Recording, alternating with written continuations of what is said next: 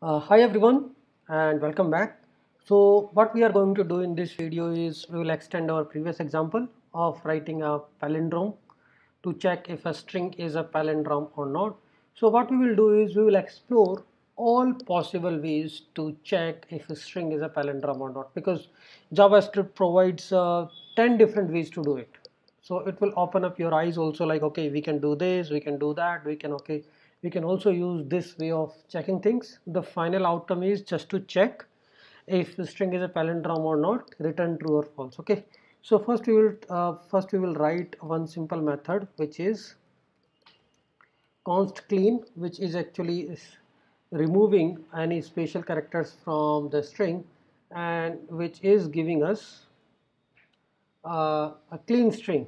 I mean it is just keeping a alphanumeric uh, from the string and removing, removing all the other characters. Okay so we can use the same thing. First we are converting it to the lowercase and then we are replacing all these unnecessary things we have. So it is a regex expression I'm writing.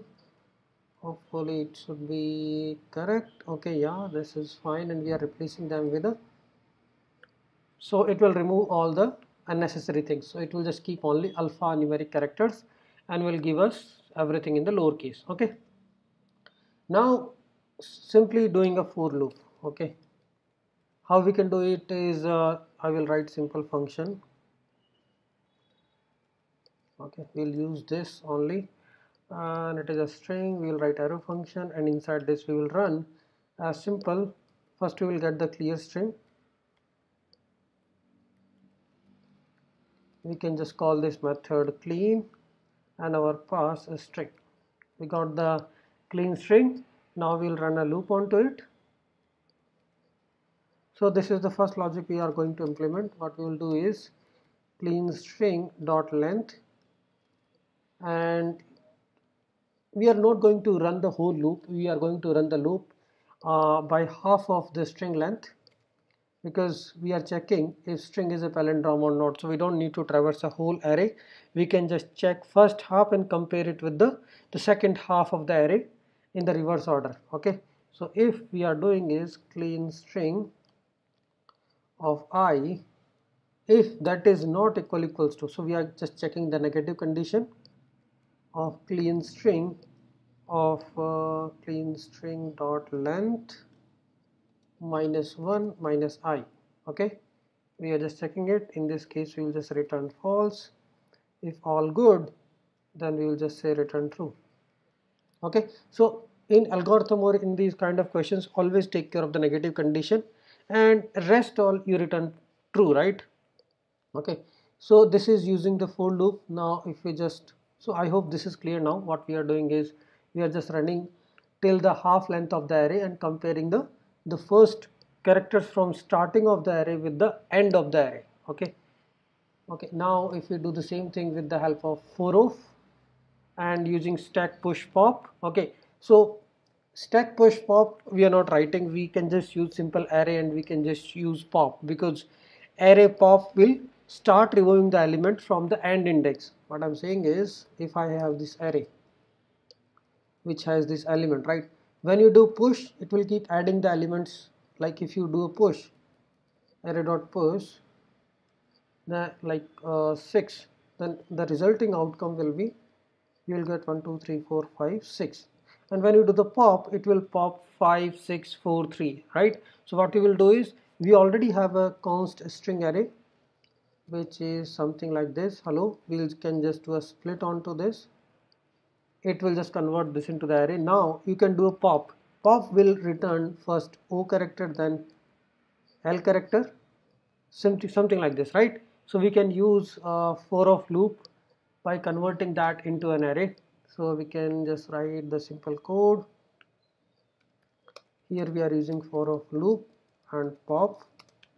Okay so is palindrome. Let's do it string. First we are doing clearing out the string. Here we are just going to create an array from clean string dot split why it always come as a splice? Okay it's a split only.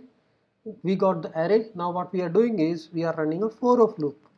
I mean if there are many ways in which you can actually iterate an array. So for of loop is one of it. In javascript let's see of uh, array okay and what we are doing is we are just checking negative condition first. If character which we are getting is not equal equal to uh, array dot pop that means we need to return false otherwise return true right? This is simple code we have written. So this is checking for palindrome. Uh, everything is correct. Okay yeah this will work. Now next thing we can write is using split reverse join which we have already seen. I am talking about this particular thing. Here also you can use actually a clear string. Clear string equal to we can actually call clean method. And we can pass this string. And we can actually use this clear string only to split and check this. Similarly for this also const clean string equal to we are calling clean method and passing string. Okay so what we are doing is okay it is also doing the same thing. We don't need it uh, clean string. And then it is just doing a reverse and comparing it. Uh, I didn't see the next line. Okay so this is already being done. Now it's just a simple way is uh, you just clean the string split reverse and join and then compare it with Similarly, you can also use for each loop. So we have already done this with the for loop. For each loop is nothing but the same as the for loop, just it takes a callback.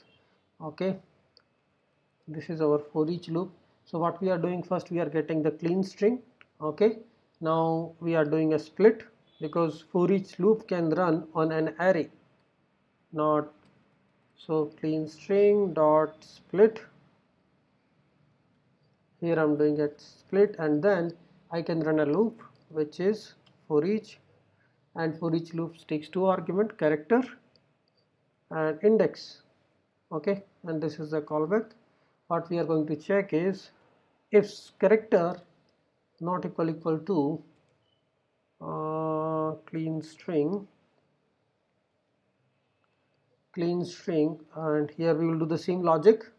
Clean string dot length minus 1 minus index okay? If this is not true return false otherwise return true right? Simple. We just converted for loop into for each by just doing a split and it's also same thing. We are just comparing the characters from starting index of an array till the last index and comparing them okay you can also use map and reduce reduce I think we have covered somewhere. Okay this was split and every function we have already used. So I will just put that here.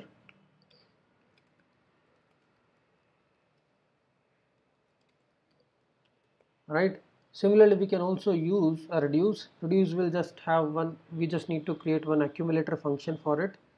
Let's do it so these things will actually gives more uh, value. I mean you are you are writing some every for each map filter reduce so it gives you a confidence okay you know all these things in JavaScript. So I'm checking palindrome clear string. Now I'm doing a split. That is fine. Here I will do a reduce instead of for each.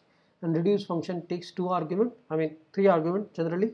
So here this is the match which is accumulator and character and index. And what we will do in the body is if match is happening if match is not happening uh, if match is returning false then we will return false. So we just need to write this accumulator function what this match is doing okay? So here we got the characters match function So we are just running a reduce function on this match character and i and if match is failing. So we are initializing match with true. Okay, okay, got it. This is reduce function. So this is how we will initialize it if character equal equal to clean string same thing clean string dot uh, length minus 1 minus index which is this okay and this is our match function. So we also need to initialize the the first iteration with true. What we are saying is let me just check. Okay reduce started from here. This is my callback. Okay callback and this is true. Yeah. So what i'm saying is the output from the first iteration initialized with true.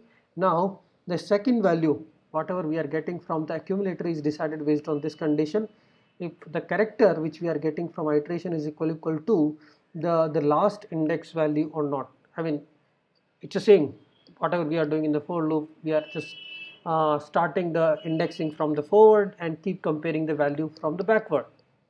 Okay so this is how using redux and using sorry reduce and every we have already seen each and every uh, array value should satisfy this condition. I mean the every index value from the forward array should be equal to the backward array indexes okay? Using recursion uh, the another important aspect uh, I can just copy this code and can use it. So how can you think of recursion here? I mean it's uh, looking like straightforward right?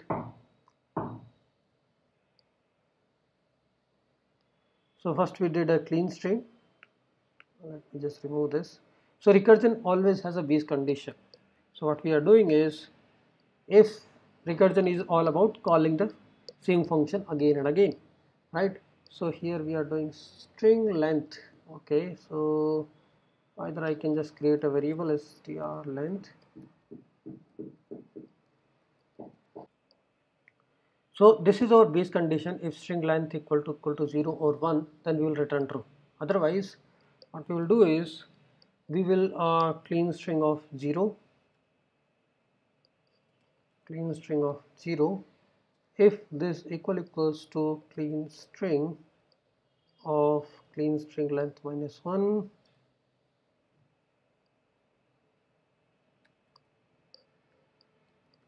str length minus 1 okay if this is true what we will do is we will recursively call it and we will call this method by splicing it. So now we have already compared. So this is this example. Okay. So what we have done is well, we have compared the first character with the last.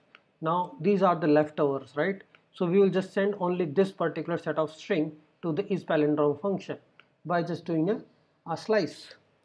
So what we are doing is uh, clean string and we will do a slice on this dot slice. Okay. Slice from 1 to the length minus 1